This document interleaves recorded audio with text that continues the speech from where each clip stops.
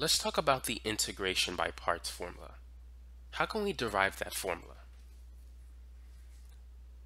The integration by parts formula is basically the reverse of the product rule. So let's start with that. Let's say we have two functions, f and g, which are both functions of x. And we're going to take the derivative of those two functions which are multiplied to each other. So using the product rule, it's going to be the derivative of the first function times the original of the second function plus the first function times the derivative of the second function. So we get f prime g plus f g prime. Now, in order to get the integration by parts formula, we need to integrate this expression.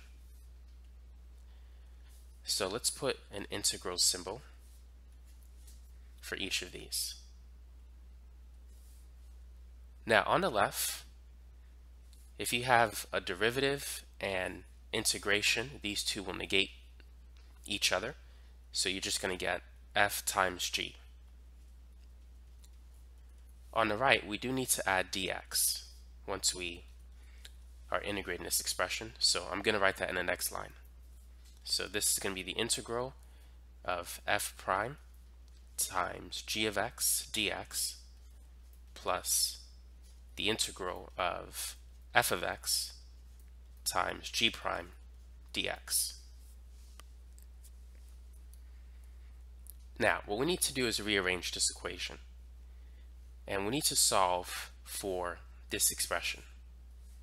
So what I'm going to do is I'm going to take this term and move it to the other side. So it's positive on the right side, but it's going to be negative on the left side.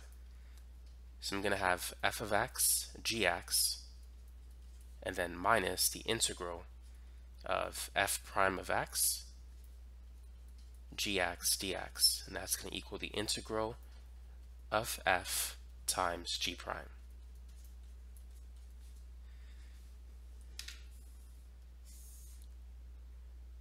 Now, what I'm going to do next is I'm going to reverse the two equations.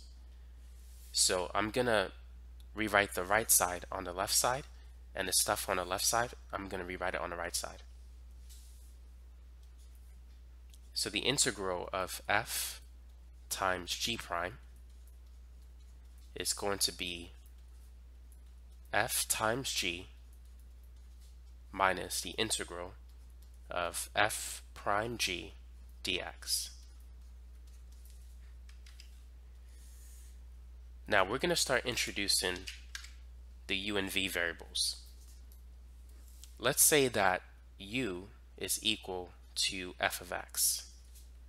If that's the case, then v will be equal to g of x.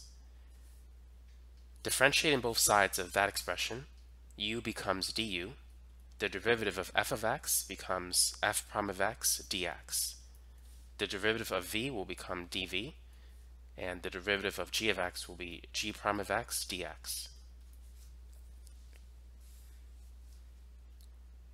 So now let's replace what we have in this, this expression with u and v. So f of x, that's going to be u and g prime of x dx will be dv.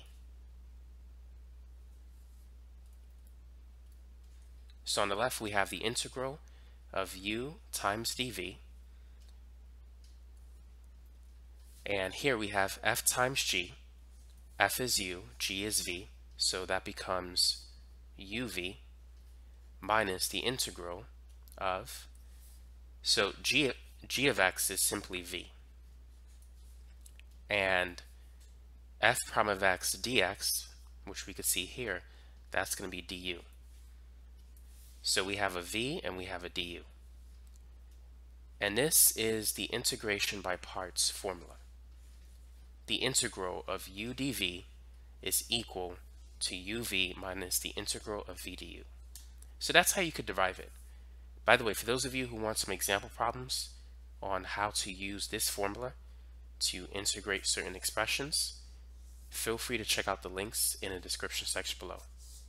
I'm also going to include some more difficult examples that relates to integration by parts. So feel free to check out those videos in the links below.